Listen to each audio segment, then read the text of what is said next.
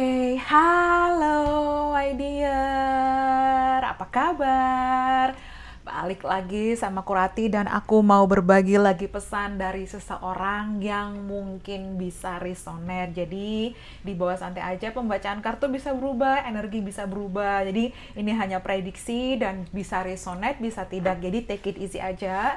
Oke, so hari ini atau kali ini aku bakal bahas pesan dari seseorang. Oke, okay, seperti apa sih atau mungkin ada yang ingin dia ungkapkan, yang mungkin dia rasakan yang tidak bisa diungkapkan secara langsung, mungkin ini ungkapan isi hati seseorang ya. Just take it easy, random thing kita akan lihat mungkin inisial atau ada huruf ini dalam nama dia atau nama kamu ya ambil mana yang resonan, oke? Okay? Aku dapat huruf G. Oke, okay, mungkin seseorang dari kota G atau mungkin dari uh, daerah G atau mungkin dia tinggal di negara G, anything ambil mana yang resonate. Ada Z di sini atau mungkin dia punya huruf inisial G atau Z, oke. Okay. Ada U. Oke, okay. uh, aku dapat kayak nggak tahu nih kata-kata kayak gazebo. Uh, mungkin seseorang tinggal di Jogja, mungkin seseorang tinggal di Bali, atau mungkin kayak aku dapat kayak Padang gitu-gitu kayak atau mungkin seseorang dari Sulawesi ambil mana yang resonate kayak ada R oke okay, mungkin huh ada ada R oke okay, di sini ada G it's double G oke okay. kemudian aku dapat I mungkin seseorang bernama Surya oke okay, atau ya mungkin seseorang bernama Yani oke okay, atau mungkin apa ya aku dapat kayak something like that oke okay. Zu, mungkin seseorang dari Zurich Zu, Zurich Swiss ya Zurich Swiss ya entahlah mungkin seperti itu ada R double R oke okay. kemudian aku dapat huruf E oke okay. kemudian di sini aku dapat huruf A oke okay. R oke okay. oke okay. your oke okay. R oke okay. mungkin di sini ada D Oke, okay, aku dapat kayak dare, tantangan. Oke, okay, menantang. I dare you. Dare. Oke, okay, mungkin seseorang di sini tipikal pemberani, adventurous, petualang, ya orang yang ambisius. Mungkin seseorang Aries, Leo, Sagittarius. Oke, okay, kemudian aku dapat J. Oke, okay, mungkin di sini ah, ada huruf M. Oke, okay, mungkin seseorang penggemar Michael Jackson, I don't know okay, atau mungkin seseorang sangat suka dengan musik pop oke okay, atau mungkin R&B jazz like mungkin seseorang bisa mungkin seseorang rapper atau mungkin suka dengan musik seperti kayak gitu. Ini ambil mana resonate oke okay, kemudian di sini ada A double A oke okay. kemudian ada C oke okay. kemudian di sini ada L Oke, okay, dan aku dapat huruf B. Oke. Okay. Ya, aku dapat kayak care di sini. Ya, seseorang masih memiliki rasa terhadap kamu. Dia masih care sama kamu actually. Dia masih peduli. Oke. Okay. Eh, sorry, uh, mungkin seseorang bernama Ami, mungkin seseorang bernama Ima, oke. Okay. Mungkin seseorang bernama Rima, ya atau mungkin di sini aku dapat bank BRI mungkin seorang kerja di bank BRI atau seseorang bekerja di perbankan atau keuangan oke okay. oke okay. kemudian di sini aku dapat kayak mungkin seseorang di sini aku dapat kata-kata kayak galaksi ya I don't know I don't know mungkin mungkin di sini kayak kamu terhubung spiritual dengan dia ya oke okay. atau mungkin kamu bilang dengan foreigner ambil mana yang resonate oke okay. oke okay, so ya mungkin kamu ya kita akan lihat langsung aja ke zodiaknya dulu. Oke okay, mungkin bisa resonate. Seseorang mungkin sangat suka dengan kembang kol atau brokoli. Aku dapat ya mungkin seseorang sangat suka makan sayur itu kembang kol atau brokoli kayak gitu. Atau kale ya kale. Kale kalau nggak salah. Kayak mungkin seseorang juga suka wortel. Ya aku juga dapat kayak seseorang suka dadar jagung. Gak tahu nih perkedel jagung apa dadar jagung? Ambil mana yang resonate. Ya just random thing oke okay? Oke, di sini aku dapat Uranus. Oke, hmm, mungkin seseorang Aquarius di sini atau mungkin kamu usia 20 atau mungkin dia usia 20 atau mungkin seseorang lahir di bulan Februari di tanggal 2, mungkin tanggal 20 atau mungkin di 2020 kamu mengenal dia. Oke, aku dapat Venus, mungkin seorang Taurus Libra di sini, mungkin seseorang lahir di tanggal 16, tanggal 7, tanggal 2 ya atau mungkin di sini seseorang romantis. Ya di sini kayak Venus seorang yang romantis yang penyayang. Karena aku di sini kayak dapat kata-kata care ya. Seseorang masih care. Ya atau mungkin di sini uh, aku dapat kata-kata came ya came berbentuk kedua dari come come back came back ya mungkin dulu kamu dan dia ada hubungan on dan off ya Ya, aku juga dapat kata-kata blame ya di sini. Oke, okay, so di sini ada B. Ini kayak permainan huruf ya, sebentar.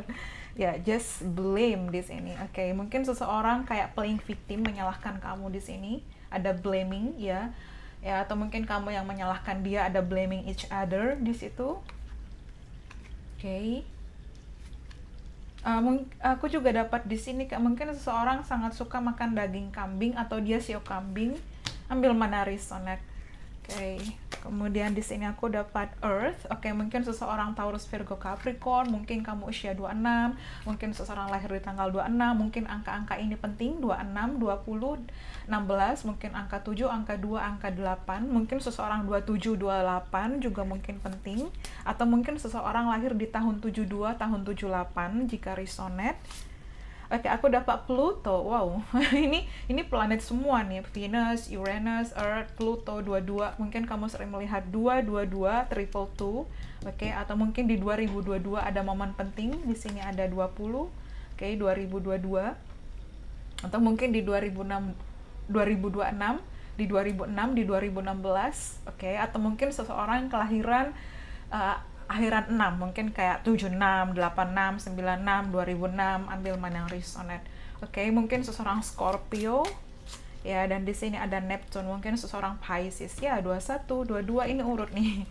Uranus, Neptune, Pisces uh, uh, oke okay, Pak Aquarius, Pisces, Pluto, Scorpio di sini. Ya mungkin seseorang ya oke. okay dan di sini aku dapat Libra. Ya, tadi aku bilang ada Taurus Libra. Oke, okay, Libra mungkin seseorang bekerja di perbankan, keekonomian, hukum, ya, hitung-hitungan, administrasi di sini atau mungkin ya seseorang Libra di sini, Libra. Oke, okay, Libra, Scorpio, Taurus, Virgo, Capricorn, Taurus Libra di sini. Ya, Libra, strong Libra di sini. Oke, okay, kita akan lihat mungkin apa yang ingin dia sampaikan dengan kamu.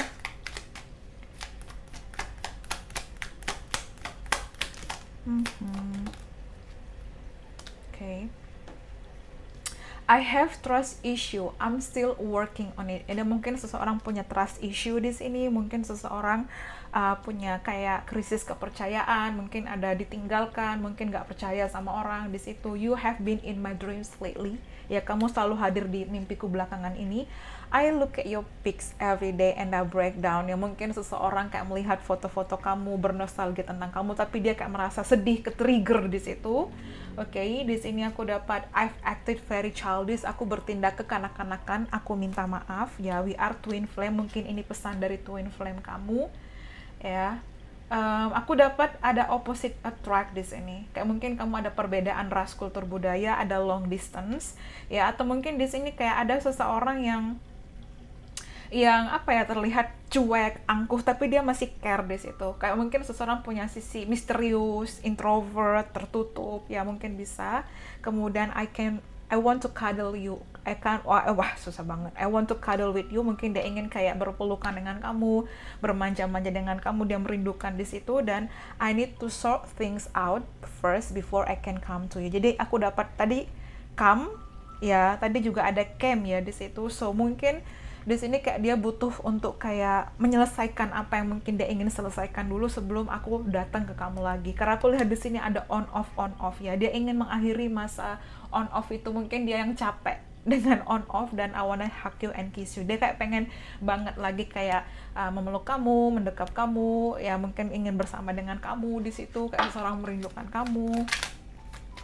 Oke, okay, dan di sini now is not the time, mungkin saat ini bukan saatnya ya, tapi dia mungkin kayak uh, berusaha untuk dealing lagi dengan egonya di situ love is the answer cinta adalah jawabannya oke okay, kemudian Oke, okay, di sini dia bilang your family won't like me ya keluarga kamu tidak akan menyukaiku. Aku mungkin di sini ada problem dengan keluarga, tapi dia bilang I'm I'm absolutely in love with you. Aku benar-benar kayak jatuh hati pada kamu. Do you even care? Apakah kamu masih peduli? Tadi aku dapat kata-kata care ya care di sini di awal kayak nyambung dengan di sini care apakah kamu masih peduli padaku di situ dan ya this love scare me. Cinta ini membuatku takut tapi aku juga mencintai kamu. Ya the love love dan love. Di sini ada tiga so ya dia yang masih mencintai kamu dia yang masih merindukan kamu dan apakah kamu masih mau menerimaku masih mau memberikan kesempatan itu padaku setelah semuanya? Ya mungkin dia takut di situ mungkin kayak dia bingung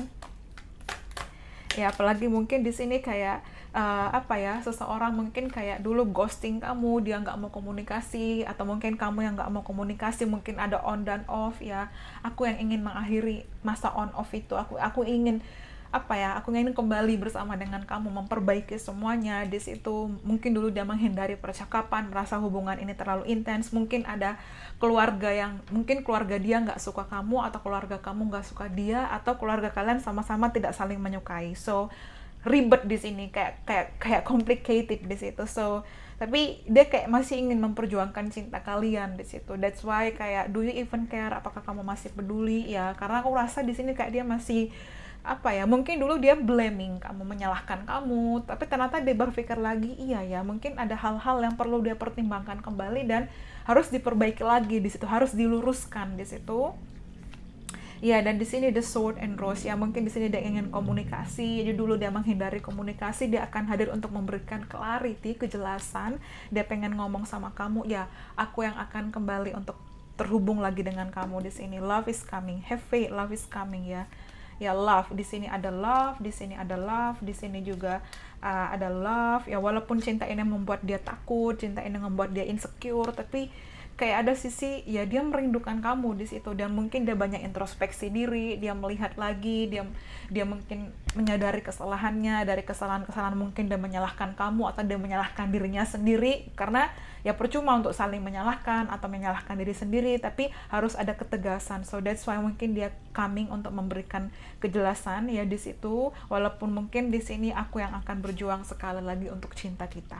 Aku lihat dia ingin berjuang lagi dia want to fight for you ya dia ingin hadir lagi. Mungkin ini akan mengejutkan kamu karena kamu pikir ini sudah selesai dia nggak mau komunikasi dia pergi tapi itu berbalik ya apalagi mungkin di sini seseorang mengalami transformasi besar mengalami perubahan di situ dia menyadari ya di sini dia ingin membawa harmoni dia ingin menstabilkan. That's why mungkin kamu sering melihat angka 666 atau mungkin angka 222 dua penting di situ tapi love is the answer. Jawabannya adalah cinta cinta adalah jawabannya mungkin seperti itu. That's why dia ingin comeback dia merindukan kamu ya dia ingin berjuang sekali lagi untuk hubungan itu ya dia ingin memperbaiki dan dia akan hadir kembali untuk kamu jika ini memang resonate ya. Oke okay, so aku lihat di sini seseorang mungkin berkulit cerah ke medium. Uh, mungkin seseorang juga ada berjanggut dan berkumis tipis. Mungkin seseorang kayak uh, punya bulu di tangannya ya mungkin seperti itu. Atau mungkin uh, dia seseorang yang sangat suka olahraga nge-gym atlet mungkin. Dia orangnya stabil balance. Mungkin keuangannya juga mapan. Tapi sebenarnya kalau aku lihat di sini dia orang yang royal dermawan. Tapi mungkin kamu ada perbedaan. So mungkin ya kayak nggak mungkin lah ini bersatu. Tapi dia masih ingin memperjuangkan kamu sekali lagi. Aku yang masih akan berjuang ya. Aku yang ingin memperjuangkan cinta kita sekali lagi ya. Kali ini di situ dia dia yakin bahwa ini bisa dipertahankan ini bisa diperbaiki asal sama-sama berjuang oke? Okay? so mungkin itu pesannya buat kalian. I hope you enjoy it. Thank you so much and bye bye see you on the next reading. Thank you and have a nice day. Bye